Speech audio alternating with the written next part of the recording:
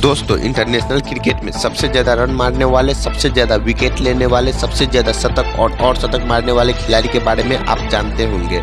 लेकिन आज हम इस वीडियो में जानकारी देंगे सबसे ज़्यादा बार इंटरनेशनल मैच में रन आउट होने वाले खिलाड़ी के बारे में। लेकिन उससे पहले, अगर आप हमारे वीडियो पर नए हैं तो वीडियो को दिल से लाइक करें, चैनल को सब्सक्राइब ज़रूर करें। तो चलिए, बिना समय लेते हुए वीडियो को शुरू करते हैं। दोस्तों, सबसे ज़्यादा बार इंटरनेशनल मैच में रन आउट होने के मामले में एक नंबर पे आते हैं राहुल द्रविड़।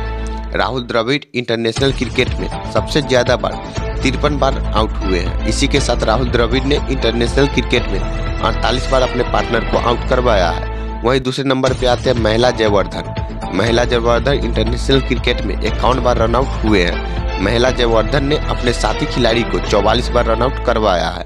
वहीं तीसरे नंबर पर आते हैं इजमामुल हक। इजमामुल हक इंटरनेशनल क्रिकेट में छियालीस बार रन आउट हुए हैं। इजमामुल हक ने अपने साथी खिलाड़ी को इंटरनेशनल क्रिकेट में छियालीस बार रन आउट करवाया है। अब चौथे नंबर पे आते हैं। क्रिकेट के भगवान कहे जाने वाले महान खिलाड़ी सचिन तेंदुलकर।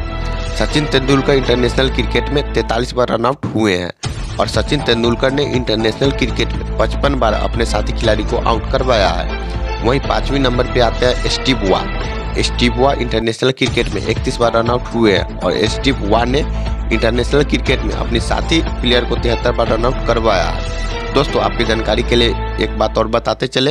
रोहित शर्मा ऑस्ट्रेलिया के खिलाफ दूसरी पारी में रन आउट हुए हैं। रोहित शर्मा इंटरनेशनल क्रिकेट में पहली बार रन आउट हुए हैं। दोस्तों, जानकारी अच्छी लगी तो वीडियो को दिल से लाइक करें, चैनल को सब्सक्राइब ज़रूर करें। क्योंकि ऐसे ही क्रिकेट से जुड़ी खबर हमारे चैनल पर हर रोज